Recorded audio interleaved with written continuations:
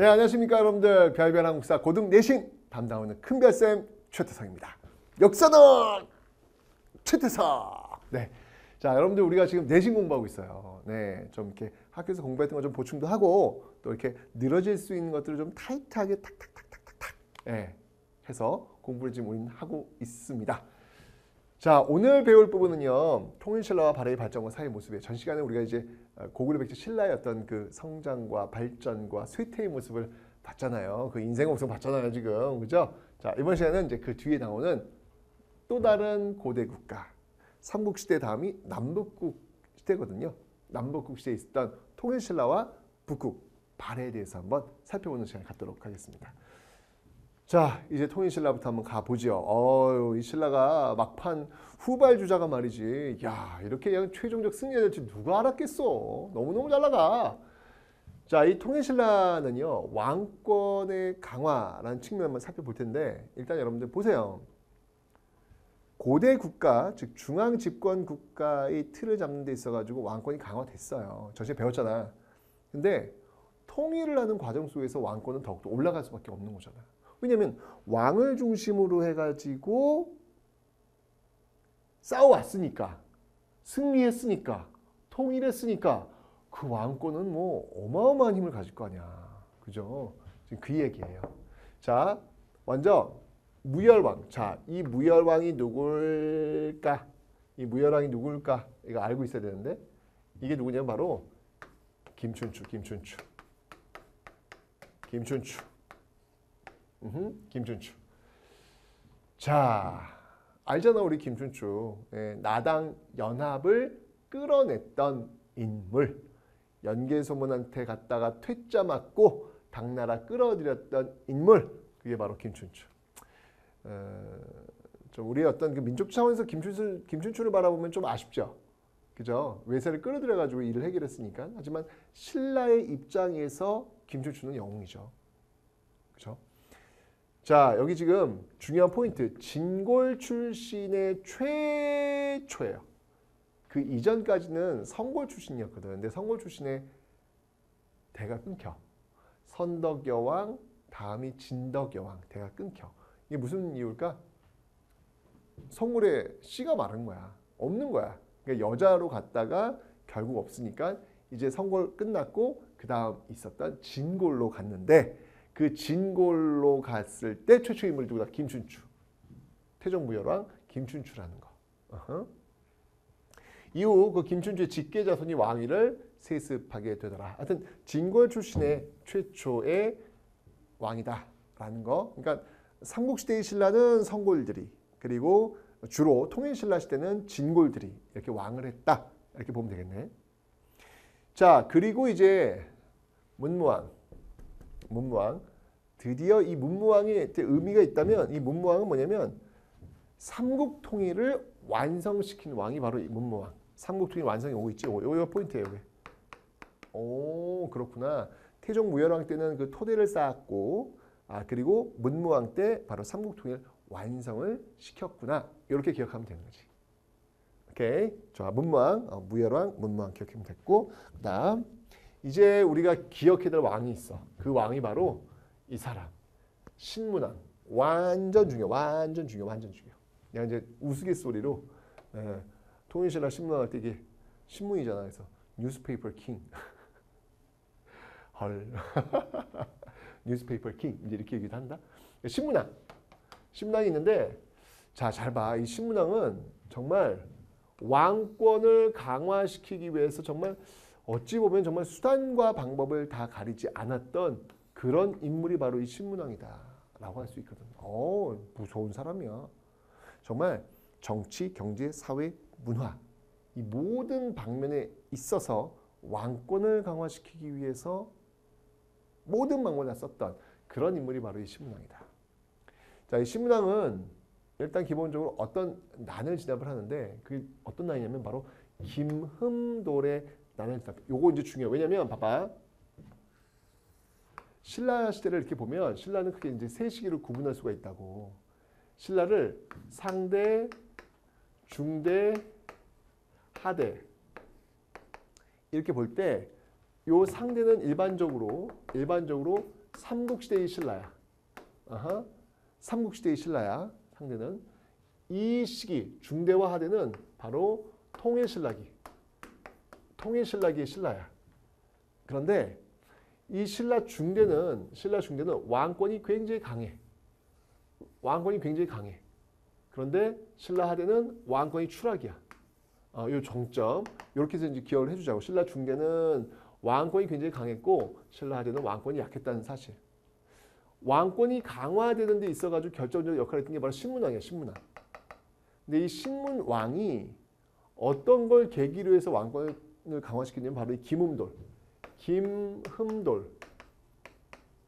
난을 계기로 해서 왕권을 강화시켜. 근데 이거 왜 얘기하냐면 신라 하대가 이게 왕권이 무너지잖아. 무너지는데 이 이때는 진골 귀족끼리 서로 왕이 되겠다고 막 싸우는 시기야. 그러니까 중앙에서 난리가 난 거야 지금. 그런데 그 시발점, 아, 발음 좀 그러네.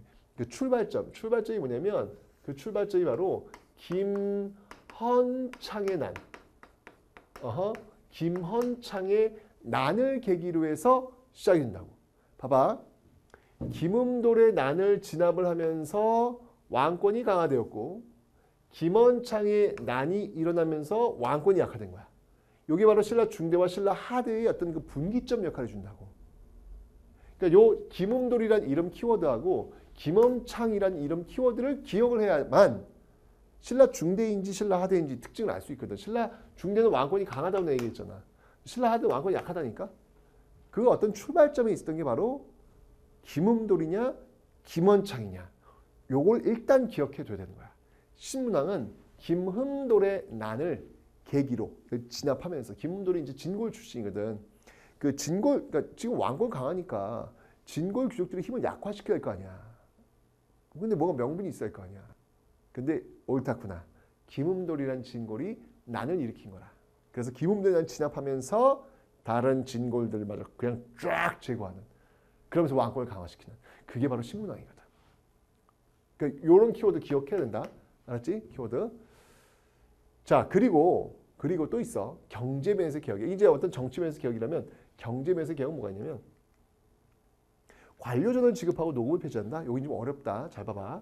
관료전을 지급하고 노급을 폐지한다. 왜 그랬을까? 이것도 지금 왕권 강하거든. 근데 왜 그랬을까? 또 어떤 이유에서? 봐봐. 노급이라고 하는 것은 뭐냐면 이제 이렇게 쉽게 생각해 보자. 이게 좀 어려운 부분인데 봐봐. 선생님이 공무원이야. 선생님 월급 받아. 월급 나는 17일이야. 월급 받아. 지금 공무원들은 국가를 위해서 일한 대가로 월급을 받는단 말이야. 옛날 공무원들은 그럼 어떻게 월급을 받았을까? 옛날 공무원들은.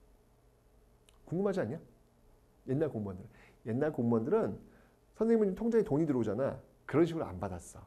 옛날 공무원들은 땅을 받았어. 오, 월급으로 땅을 받았어요, 선생님.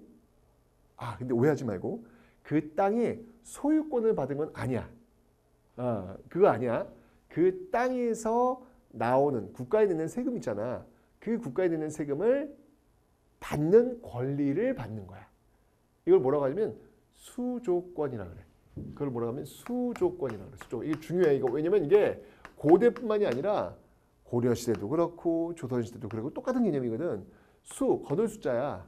조는 세금 조자야. 세금을 거둘 수 있는 권리. 이게 이제 옛날 공무원들 월급이었다고. 자, 근데 노급은 녹봉, 녹을 받는 거야. 녹을 받는 거야. 뭘 받았다? 읍을 받는 거야. 읍면동, 마을 통째로 받는 거야. 이 마을을 녹으로 받은 거야. 통째로. 그러면 이 마을의 토지뿐만 아니라 물론 그 토지 소유권은 아니라고 내가 얘기했다. 이 토지에 나오는 이 수조권, 세금을 가져, 갈수 있는 권리야. 어쨌건 이 읍을 통째로 받았어. 그러면 이 읍에서 나오는 토지세를 받을 권리뿐만 아니라 이 노급은 이 읍에서 살고 있는 사람들이 있을 거 아니야. 그 사람들도 이 귀족이 부려먹을 수가 있었어. 왜냐면 우리 앞에 배웠지 농민들의 3대 의무가 있다고. 뭐야? 조세, 공납, 역. 조세는 토지세, 공납은 그저의 특산물, 역은 노동력 지급하는 거잖아. 근데 이 읍에서 살고 있는 사람의 노동력도 이걸 받은 사람, 이걸 받은 귀족은 마음대로 쓸 수 있다는 이야기지. 그럼 여러분들 잘 생각해봐. 이 노동력은 무엇으로 전환될 가능성이 있을까? 군사력으로 전환될 가능성이 있겠지. 군사력으로. 귀족들이 말이야. 군사력을 갖고 있는다는 것은 이건 왕한테는 위험한 일이잖아. 지금 신문왕은 왕권을 강화시켜야 돼. 근데 노급이 이게 마음에 안 드는 거야. 야, 저 노급 저거 저거 저거 귀족들 가져가면 저거 저거 저거 군사력으로 전환시키면 나한테 대들 수도 있는 거 아니야? 저거 저걸 왜 줘? 라는 판에 들어가지고 관료전을 지급한다고. 그래서 관료전은 뭐냐면 똑같아. 토지를 받아. 그 토지에서 나오는 세금을 거둘 수 있어. 하지만 노동력은 징발이 안 돼. 노동력은 징발이 안 돼. 이게 바로 관료전이야. 알겠지? 관료전 지급하고 노골 폐지한 이유를 알겠지? 관료전 지급하고 그 다음에 노골 폐지한 이유 바로 왕권 강화 위해서. 진골 귀족들이 군사력을 가질 수 있는 것을 원천적으로 차단하기 위해서 이런 모습을 보인 거다. 중요, 중요, 중요, 중요. 자, 그 다음에 그 다음에 이제 시스템 정비 들어간다. 지방 행정 조직을 구주 오소경으로 재편하는 거야. 구주라고 하는 것은 고구려 영역의 세 개, 백제 영역의 세 개, 그리고 신라 영역의 세 개, 그래서 아홉 개 주. 오소경이라고 하는 거는 요건 좀 중요해. 오소경은 이게 지금 봐봐. 이렇게 있으면 경주가 경주가 너무 한쪽에 치우쳐 있잖아요. 수도가 너무 너무 그렇잖아. 그래서 이 경주와 같은 기능을 하는 같은 기능을 하는 다섯 개의 작은 경주를 둔 거지. 이게 바로 오소경이야. 오소경이야 이게 바로. 어? 그러니까 오소경을 배치한 이유는 뭐다? 한 수도가 너무 한쪽에 편제돼 한쪽에 있는 것을 보완하기 위해서 만든 것이다. 이렇게 이해하면 되겠지? 그래서 구주 오수경 이제 시스템 딱 정비해놨어. 그 다음 군사 조직은 구서당 10정을 정비하네. 이 구서당이라고 하는 것은 뭐냐면 중앙군이야. 10정은 지방군이야. 구서당에 보면은 신라인뿐만 아니라 고구려인도 들어가고 백제인도 들어가고 심지어 말갈인도 들어간다. 왜 그랬을까? 왜 그랬을까? 민족 융합 정책. 민족 융합을 위해서 통일했잖아. 통일했으니까 이제 고구려 백제 이런 거 구분하지 않고 중앙군에 다 문호를 개방한 거지. 그 다음에 십정 이건 지방군인데 지방군은 어 가만 있어봐 한 주에 하나씩이야. 아홉, 아홉 개 주니까 어 이게 구정이 돼야 되는데 왜 십정이지? 이유가 있어. 왜냐면 이 구주 중에서 한 주라고 있거든. 근데 한 주는 너무 넓어.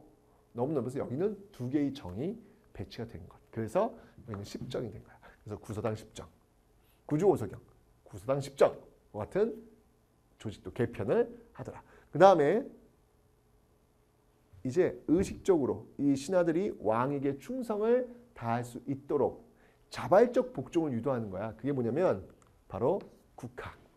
국학을 설립하더라. 국학은 왜 기억나? 소수리망이 세웠던 최초의 대학교. 어디지? 저주에 배웠는데 태학. 소수리망 태학. 신문왕이 세웠던 대학은 국학. 국학. 여기서 왕에게 충성할 수 있도록 자발적 복종을 유도하는 거잖아. 이런 것들을 지금 하고 있고 그 다음에 육두품들을 또 성장시키고 있더라. 이때 대표적인 육두품이 있다면 설총. 음, 설총 같은 인물들. 이런 설총 같은 인물들이 신문왕을 보좌하면서 쭉쭉쭉 크고 있지. 왜냐면 왕권을 강화시켜야 되니까 진골 규정 말고 새로운 파트너, 육두품들을 적극적으로 등용하는 모습들이 바로 신문학에 보이고 있다. 자, 너무 중요한 거야. 봐봐. 김음돌에 난 진압했어. 그리고 구주오소경 구서당, 구서당 십정 조직 개편했어. 그리고 관료전 지급하고 노고 폐지했어. 그리고 국학 설치했어. 오, 정치, 경제, 사회, 문화 다방면에 걸쳐서 지금 왕권을 강화시키고 있는 모습들이잖아. 완전 중요한 포인트. 꼭 기억하기. 오케이? 신문왕 이거는 반드시 시험에 나오는 거야 이거는. 어, 신문왕의 왕권 강화책 그 중에서 제일 중요한 거 관료전 지급 녹읍 폐지라는 거. Wow. 제일 중요해 이게 제일 제일 중요해. 관료전 지급 녹읍 폐지라는 사실 반드시 기억하기. 오케이. 자 이렇게 해서 신문왕 살펴봤어. 자 이제 통일신라 시대의 어떤 그 통치 체제 정비를 한번 볼게. 자 먼저 사실 이것도 이제 신문왕의 왕권 강화의 어떤 그 모습들인데 집사부, 집사 알지? 집사. 네, 집사. 뭐 다 알아서 해주는 사람 있잖아. 왜? 집사. 그런 느낌을 떠올리란 말이야. 집사부의 짱. 이 당시에 국무총리라고 한다면 바로 시중. 아, 상대 등의 원래 상대 등이 이제 국무총리 역할인데 상대 등의 세력은 이제 이때 약화되거든. 그래서 집사부 시중의 그 권한을 강화시켜서 국무총리 역할을 맡기는 거지. 이것도 하나의 왕권 강화의 어떤 모습이라 볼수 있는 거야. 집사부 시중은 자기 오른팔이나 마찬가지거든. 왕의 오른팔.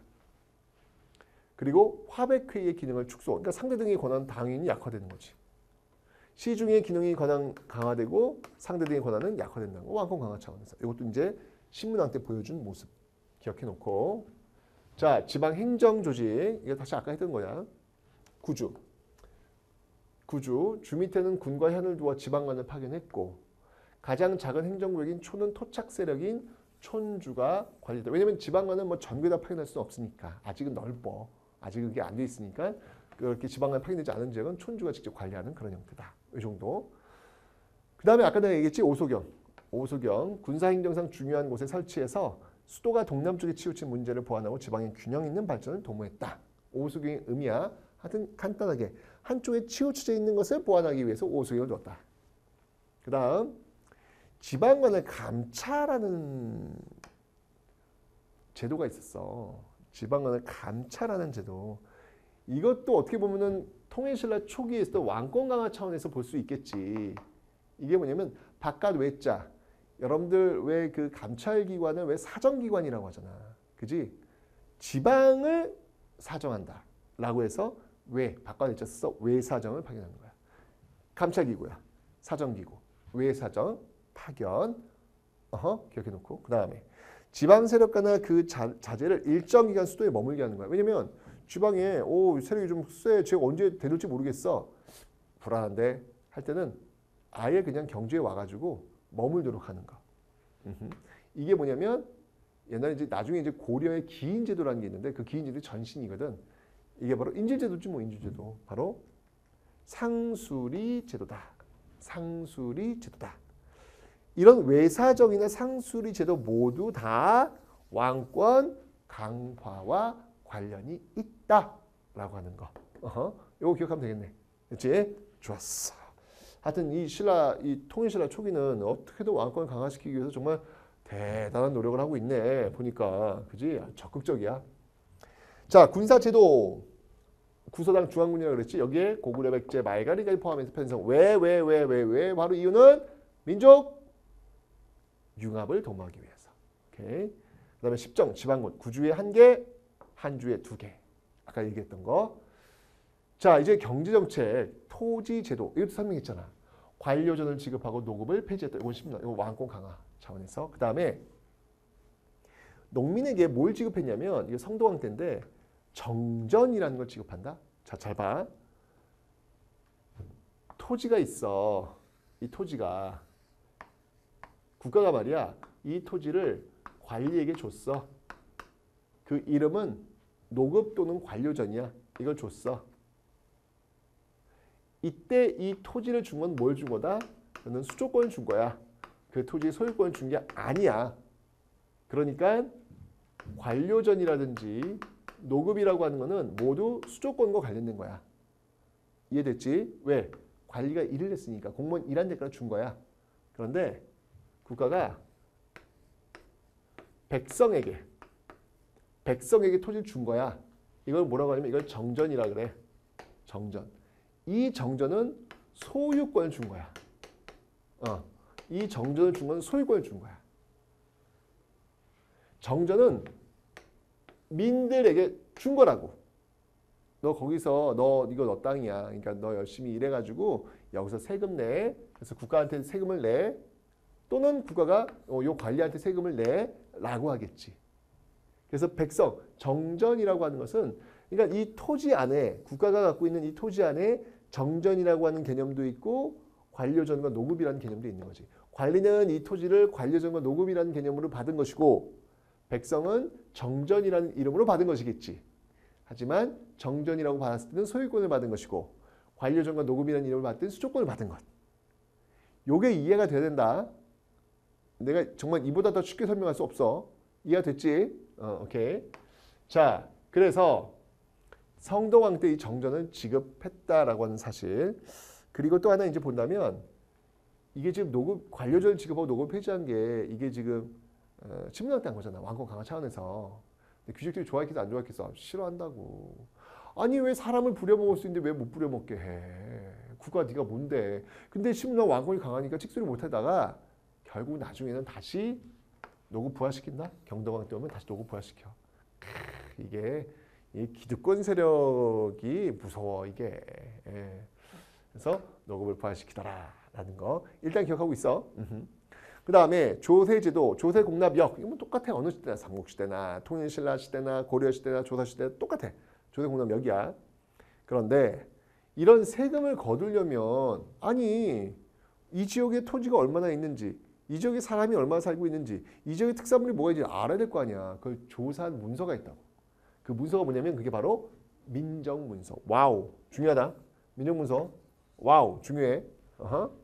이제 신라 촌락 문서라고 하는데 여기에 바로 이 조세 공납 역 징발할 수 있는 그런 내용들이 다 들어가 있더라. 3년마다 작성을 하는 건데 아, 이거는 조세 수치와 노동력 파악이 목적이었다. 어, 그렇구나. 조세 공납 역 세금을 거두어 들이기 위해서 장부를 만들었는데 그 장부의 이름이 무엇이다? 민정문서다. 꼭 기억하기. 세금을 거둬 들이기 위해서 만든 장부가 민정문서다. 오케이. 시험에 잘 나온다. 민정문서. 좋아, 좋아, 좋아, 좋아. 자, 그러면 다음 경제활동과 해외무역 한번 볼게. 기억나니? 동시를 설치했다는 거 기억나? 어느 왕 때였지? 동시? 경주에서 그 동쪽에 있는 시장. 동시.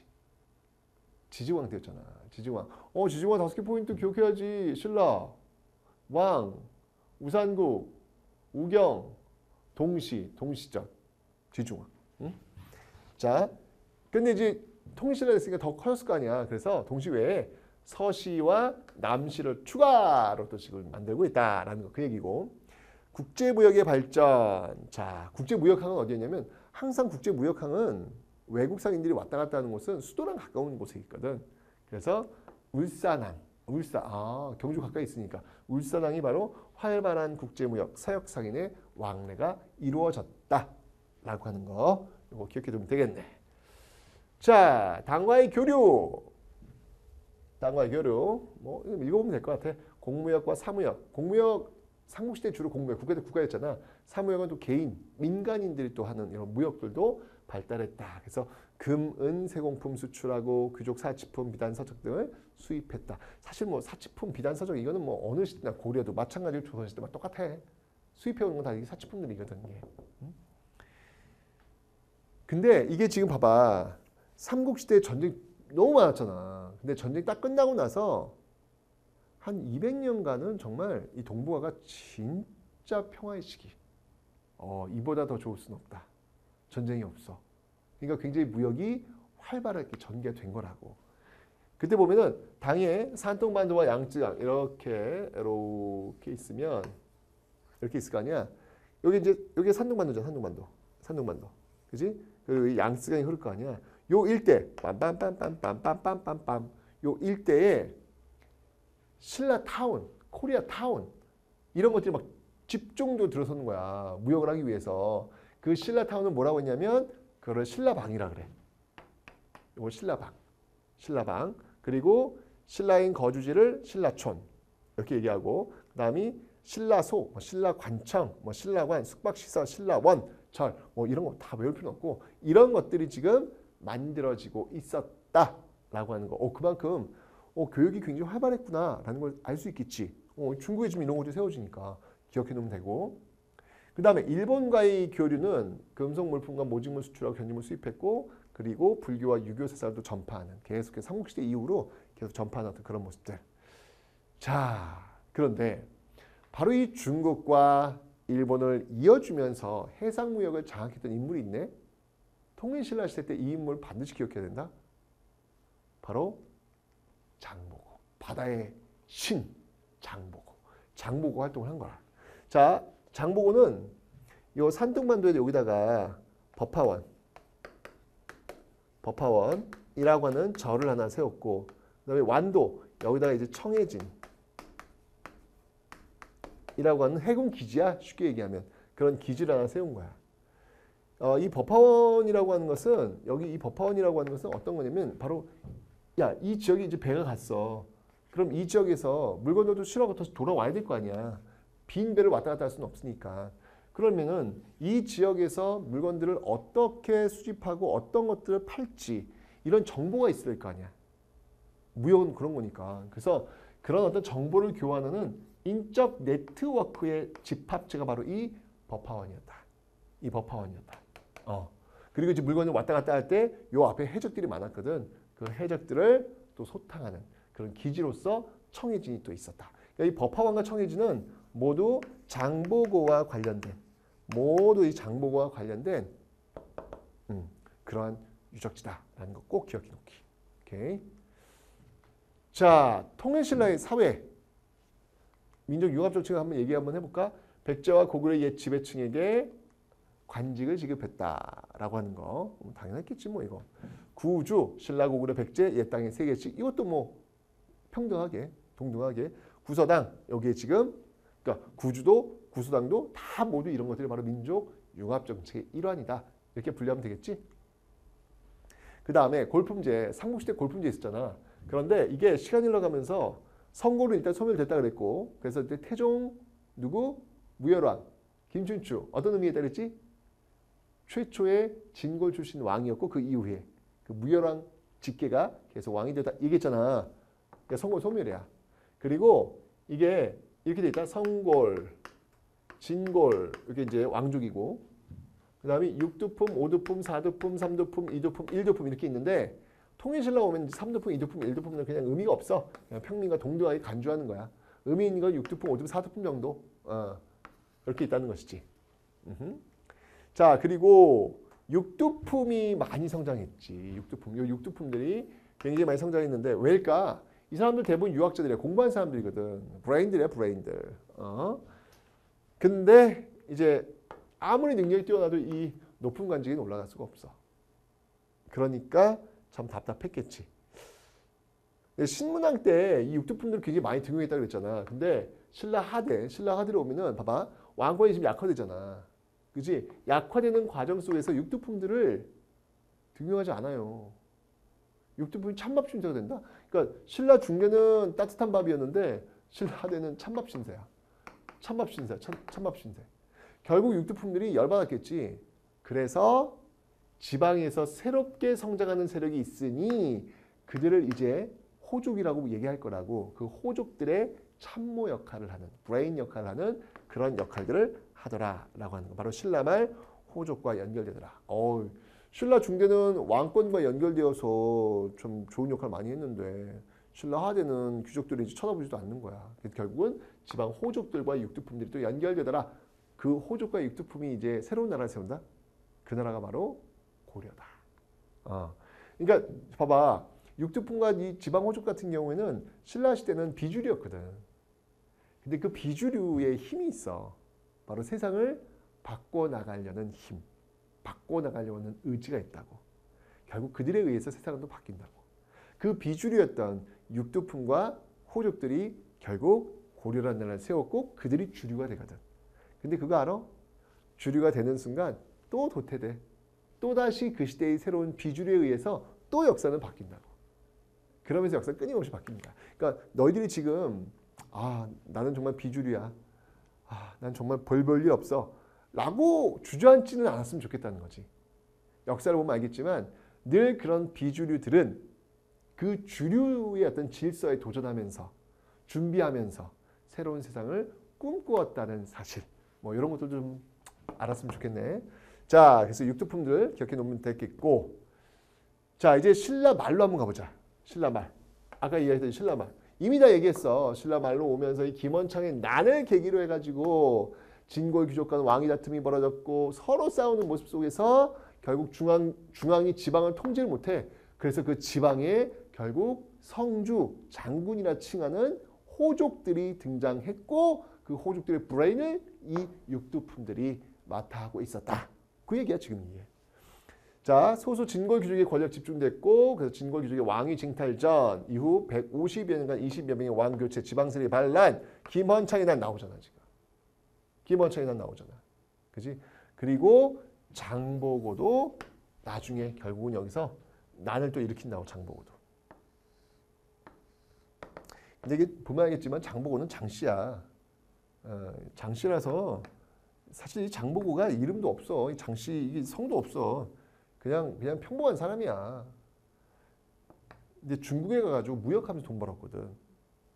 중국에 가면 그저 성씨 중에서 왜 장삼이사라 그래가지고 한 10명 모이면 이 중에서 장씨 한번 손들어 보세요. 그럼 한 장씨 3명, 이씨 4명. 무지하게 많은 거야. 그래서 장, 장시성을 가져온 거고 어, 또는 이제 이게 왜 원래 이름이 원래 이름이 궁복이거든. 궁복이야 궁복. 이 궁자 활을 잤었는데 활을 장보고가. 그래서 이 장씨에 보면은 장씨에 이렇게 활궁자가 들어가. 예, 그래서 그거 따와가지고 장씨 한 다음에 복. 이 복을 중국어 발음으로 하면 보고 보고. 그래서 장보고 어, 이렇게 이름을 이제 지은 거란 말이지. 어, 장보고는 이제 보면 알겠지만 이게 진고 귀족도 아니고 호족 1세대라고 보면 되는 거야. 그러니까 이 청해진을 근거로 하고 있었던 호족 1세대 이 장보고가 난을 일으켰다라고 하는 거 받으면 되겠네. 자 이렇게 있다가 결국 이제 하대로 내려가면 내려갈수록 뭐 난리가 더 나는 거야. 그래서 진성 여왕 때가 되면은 뭐, 뭐 엉망이야. 뭐 세금도 잘안 꺼치고 막 중앙교주가 왕이 다툼 뭐 난리도 아니야. 결국 백성들이 살기 어렵겠지. 그래서 하대의 원종과 애노의 난 우리나라 역사상 최초의 기록이라고 볼 수 있는 하층민의 저항 이게 바로 신라 하대 원종과 애노의 난이다. 완전 중요하거든. 꼭 기억하기 원종과 애노의 난 이렇게 전국 각지에서 잇따라 번개했다. 아 신라 하대 무너지고 있네. 자 그러면서 이제 무너지는 시대에 새로운 세력이 성장하니 그들이 바로 호족이더라. 자, 자, 자, 자, 이제 이 지방 호족에 관련된 시험 문제는 반드시 나와요. 반드시 꼭 기억하기. 신라하대, 신라하대 새롭게 성장한 그들이 누구냐? 바로 지방 호족이다. 지방으로 내려온 귀족, 해상 세력, 군진 세력 출신이고 스스로 성주 장군이라 칭하면서 자신의 군대를 기반으로 지방의 성을 쌓고 방어하는 거야. 그 지방의 행정권을 장악했고 실질적으로 지배하는 거지. 실질적으로 지배하는 거야, 이들이. 행정권 장악해가지고. 어, 지방관이 원래 그걸 해야 되는데 중앙에서 지금 막 서로 왕이 되어 싸우는 과정이 벌어지니까 중앙에서 지방을 통제를 못하는 거야. 그래서 그 지방에 내가 그럼 내가 이쪽 이쪽 내가 다스릴게 라고 등장이 바로 호족이라는 얘기지. 자 육두품 세력 그리고 선종 승려와 결탁하여 새로운 사회 건설 추구 잘 봐. 잘 봐. 이 호족들이 새로운 시대를 이끌어가는데 필요한 이데올로기가 있어야 된다. 어떤 그 사상적 뒷받침이 있어야 돼. 그냥 생뚱맞게 내가 이제 새로운 주인공이 될 거야. 이렇게 얘기하는 건 설득력이 좀 떨어지거든. 이유가 있어야 된다고. 그 이유를 어디서 찾았냐면 바로 선종과 풍수 지리에서 찾는다고. 으흠. 자 이게 뭔지 설명해 줄게. 선종이라고 하는 건 뭐냐면 종, 불교에서는 교종과 선종이 있어.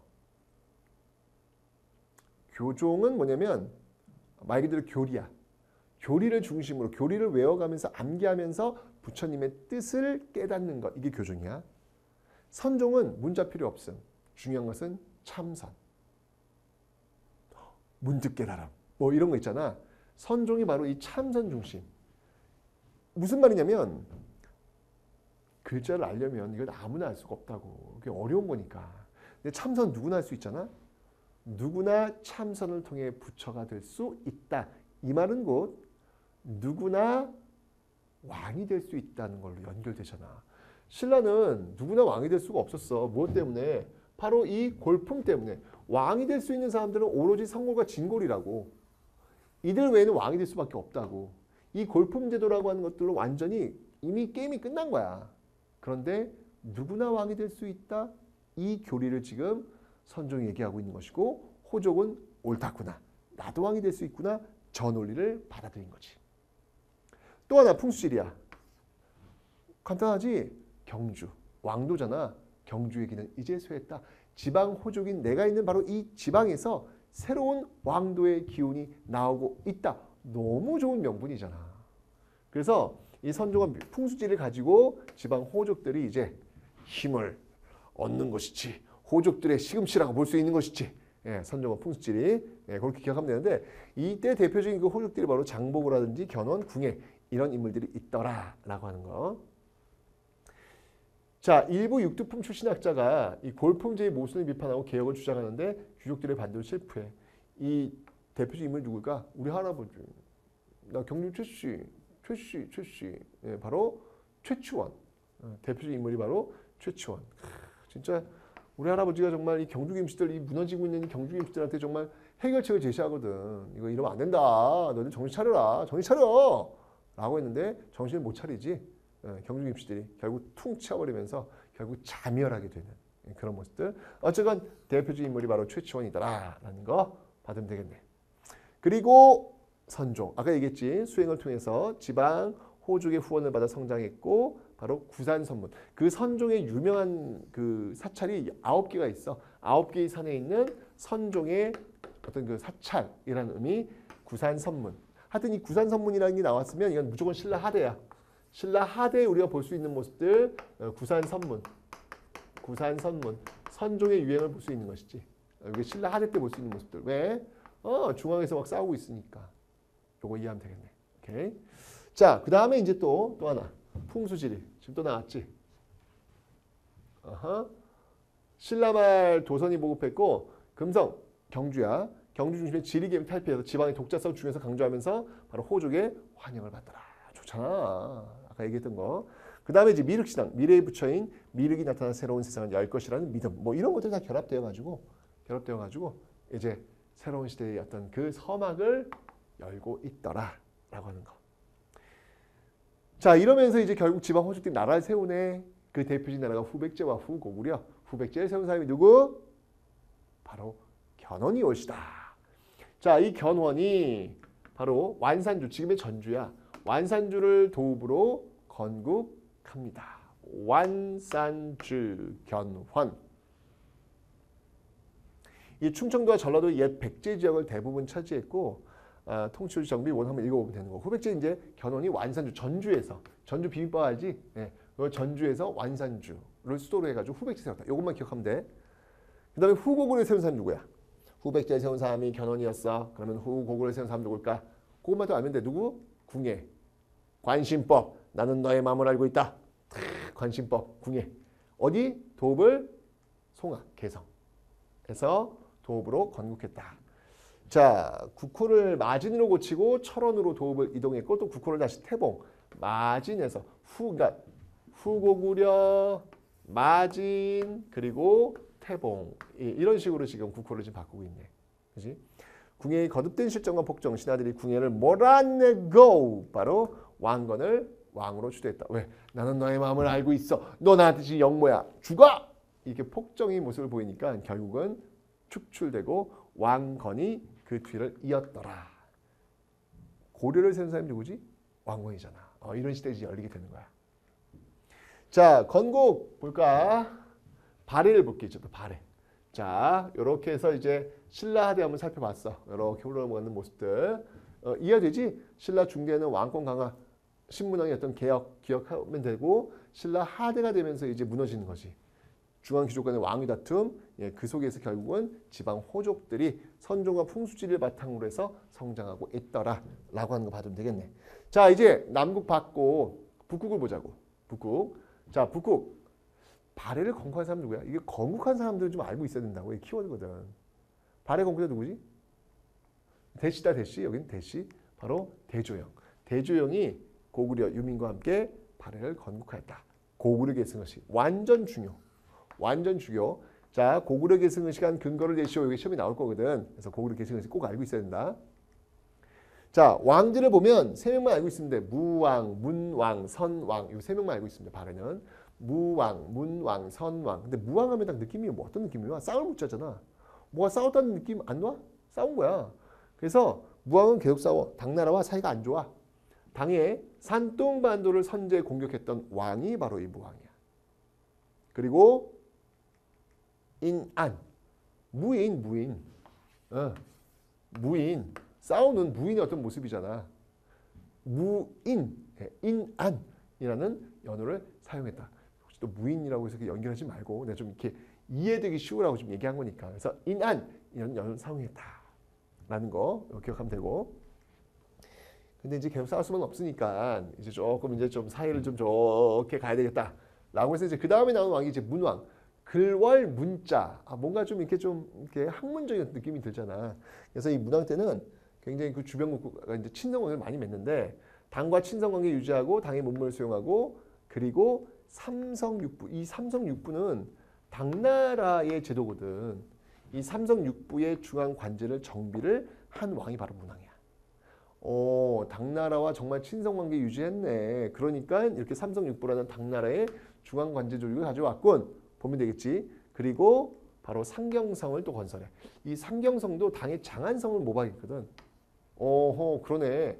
문왕은 굉장히 어떤 당과의 관계를 어, 굉장히 친선적인 어떤 그런 모습들 보이고 있군. 그래서 이런 것들 도입했군. 느낌이 오지? 자, 신라와도 이게 발해가 고구려 계승했는데 그 고구려를 무너뜨린 나라 신라 아니야. 그지? 그 신라와도 교류한다. 그래서 신라도 신라도를 개설하고 신라와 교류하는 모습들. 자, 상경 용천부로 이제 천도를 했고 그다음이 대흥. 문왕 때 정말 잘 나갔거든. 클 대자 흥하흥자. 크게 흥하더라. 무왕 때는 무인, 무, 무인 그래서 인한 그리고 문왕 때는 크게 흥하더라. 너무 잘 나가. 대흥이라는 연호를 또 쓰고 있다라는 거. 문왕 이 정도 기억해 두기. 하여튼 문왕 때는 주변과 친한 거야. 자, 그 다음에 이제 다음 마지막 선왕. 자, 이 선왕은 이제 발의 영토가 고구려 영토보다 더 넓어. 더 넓은데 그 넓은 게 앞에 있었던 뭐 대조영이나 뭐 무왕이나 문왕 때 만들어진 건 아니고 그 영토 지도에서 보고 있는 그 영토는 바로 선왕 때 이제 완성이 된 거야. 선왕 때 가야 이제 요동 지역까지 고구려 영토였던 요동 지역까지 확보가 되거든. 그래서 옛 고구려 영토 대부분 차지해서 이제 그 배출한 거지. 그래서 5경 15부 62주. Wow. 어마어마하게 크지. 그지? 5경 15부 62조의 지방 행정 체제를 이제서야 이제 확립하는 거야. 이제서야. 그리고 이때는 건흥이라고 하는 연호를 썼더라. 무 무왕 때는 인한. 그리고 문왕 때는 크게 가라. 대흥. 그리고 선왕 때는 건흥. 인한, 대흥, 건흥 이런 연호 기억해 두시라. 그래서 이때는 정말 전성기지 뭐 제일 넓은 영토를 갖고 있으니까 이 전성기를 뭐라고 불렀다? 바로 이때를 해동성국이라고 불렀다. 해동성국 기억해 놓기. 어느 왕 때?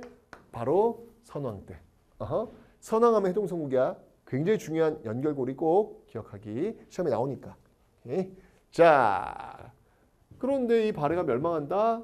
귀족들의 권력 같은 뭐늘 그렇지 뭐 이거야 뭐 언제나 그랬으니까 국력 약화. 그러면 누가 발해를 멸망시켰냐 이거야. 누가. 어느 민족이냐면 이 민족 바로 거란. 거란족에 의해서 발해가 멸망되더라. 발해 유민들도 부흥운동 했었는데 뭐 실패하고 왕족과 일부 유민들이 이제 왕건한테 온 거지. 바로 고려로 망명했다라고 하는 사실. 자, 그러면 이제 발해 통치자 한번 볼게. 너 아까 했어. 문왕 때 당나라의 어떤 삼성 육부를 수용했다라고 얘기했잖아. 그지? 명칭과 운영 방식에서는 바로 독자성을 유지해. 무슨 말이냐면 봐봐. 원래 이 삼성이라고 하는 거는 어, 중서성, 문화성, 상서성 이렇게 나오거든. 그리고 육부 같은 경우에도 이, 호, 예, 병, 형, 공 이렇게 나오거든. 이렇게 나오거든 이렇게 당나라 이렇게 쓴단 말이야. 이 삼성 육부를 가져는 왔어. 왔는데 이름은 다 달라. 우리는 정당성, 중대성, 선조성. 육부는 충인의지의 신부. 다 달라. 이렇게. 다른 모습으로 지금 독자성을 유지하고 있더라라고 하는 거. 그리고 정당성 중심으로 운영되었고 대내상. 이 대내상이 바로 발해의 수상이야. 자, 이제 문제 내볼게. 조금 어려울 수 있는데 봐봐. 고구려의 수상이 누구였지? 어렵지? 까먹었지? 고구려의 수상도 비슷하다? 대, 대, 로잖아. 고구려의 수상은 대대로고 발해의 수상은 대내상이야. 이거 헷갈리면 안 된다. 어, 이거 굉장히 중요한 포인트. 가끔 시험에 나와. 고구려의 수상은 대대로 발해의 수상은 대내상이라고 하는 사실. 오케이. 이 대내상이 국정을 총괄하는 거지. 정당성 아래 육부가 설치되어 있고 육부의 명칭에 유교 이념 반영, 추인 의지의 신이니까 유교 이념 반영돼 있잖아. 이런 것들이 어떤 그 당날의 영향을 받았으면서도 독자성을 유지하고 있다라고 하는 포인트 기억해 두면 될 거고 그 다음에 지방 행정 조직을 보면 지방 행정 조직을 보면 오경 15부 62조 이건 이제 선왕 때 이제 이런 것들이 지금 만들었다라고 했는데 지방만 파견했고 가장 작은 행정구역인 촌락은 대부분 토착 세력인 말가린 왜냐면 워낙 넓으니까 이게 고구려인들이 다 할 수는 없거든 그래서 그런 적은 말가린들이 지금 하고 있다라고 하는 거 받으면 되겠네. 그래서 이원적 문제 구조야 이렇게, 이렇게 이원적 문제. 위쪽에 고구려인이 있고 이 아래쪽이 주로 말가린들. 이렇게 이원적인 민족 구조를 바르는 구성하고 있더라라고 하는 거 받으면 되겠지. 자, 발해의 통치 체제 군사 기구를 보면 중앙군은 중앙군은 10위, 어, 10위라는 중앙군이 있었고 왕군과 수도 경비를 했고 그 정도만 알고 있으면 될 것 같아. 지방군은 뭐 이런 게 있다. 읽어보면 되고 그 다음에 교육기관이 있다. 요거 이제 기억해야 돼. 왜냐면 이제 우리 교육기관 나왔잖아. 자, 소수리왕 때 세웠던 대학교 어디였지? 고구려. 태학. 통일신라 신민왕 때 왕콩강화청에서 만들었던 대학교. 국학. 그리고 발해 하나 가르쳐줄게. 발해는 주자감. 음, 주자감이라는 학교가 있었다는 거. 이제 태학, 국학, 주자감. 요건 알고 있어야 되는 거야. 대학교들이니까. 오케이. 자, 그리고 농업과 목축 보면은 어, 이게 발해가 있는 곳이 좀 안주주 지역이잖아. 그러니까 조금 이렇게 날씨가 이렇게 쌀 농사하기는 쉽진 않지. 그래서 주로 밭농사 중심이었고 일부 지역에서는 병사 했지만 주로 밭농사. 그리고 목축이 발달된 특히 어, 발해의 말이 그렇게 유명. 예. 발해 그 오경 15부 중에서 솔빈부라고 있는데 그 솔빈부의 그 말이 그렇게 아주 명마였다네. 예, 아주 수출 많이 했나 봐. 그리고 수렵 활발 뭐 해서 이제 뭐 그 당시 뭐, 뭐 목축하고 사냥을 했을 테니까 이런 가죽이나 뭐 이런 것들이 나왔겠지 상식으로 이해하면 되는 것이고 수공업은 이런 것들을 좀 생산했더라라는 거. 자 무역 무역 잘 받아야 되고 요거 또 중요하다. 자 아까 우리는 통일신라의 무역을 받고 이번 이제 발해의 무역을 한번 좀 보자는 거지. 이렇게 쓰면 이게 지금 산둥반도잖아. 아까 이게 법화원과 청해진이 있다 그랬잖아. 그치?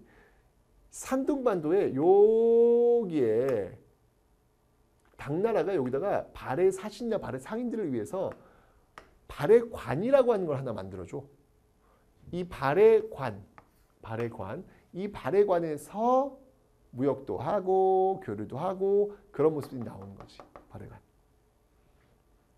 뭐 일본이야 뭐 이렇게 교류했고 그다음에 신라로 가는 길, 신라도를 통해서 교류가 있었다는 거. 이거 이제 신라도 신라와의 교류 어느 왕 때라 그랬지? 무왕은 아니지. 무왕은 막 싸우는 왕인데. 문왕 때, 문왕 때 이런 모습들이 있더라라고 하는 거. 자, 주민 구성은 아까 내가 설명했어. 이원적인 민족 구조다. 지배층은 고구려인이고 피지배층은 어디 말갈인이더라라고 하는 거 받으면 되고 뭐다 설명했지만 당나라한테 영향을 받았으면서도 독자성을 유지하고 있었고 그리고 고구려의 어떤 모습들을 많이 계승하고 있더라라고 하는 거 받으면 되겠네. 자, 여기까지가 발해의 모습. 어때? 자, 지금 우리 남북국 시대 공부했단 말이야. 근데 이제 통일신라는 신라 중대와 하대, 그 왕권 강화의 변화, 강화됐다가 약화됐다가 그러면서 신라 하대 때 그 지방 호족과 육두품이 새롭게 성장하는 세력들 그들이 이제 후삼국 시대 고려로 넘어가는 그런 모습들. 발해 같은 경우에는 대조영, 무왕, 문왕, 선왕으로 이어지면서 이렇게 성장하면서 가다가 아, 무왕은 싸웠고 문왕은 교류했고 선왕 때는 해동성국이라는 전성기를 누렸다라고 하는 내용들 이런 내용들을 기억하시면 되겠습니다. 자, 이제 다음 시간에 여러분들 바로 이제 고대 우리가 천년의 역사를 좀 배웠어요. 와우. 그 천년의 역사에 있는 문화. 그 어떤 숨결에 있는 그 문화. 문화를 한번 저와 함께 여행해 보도록 하겠습니다.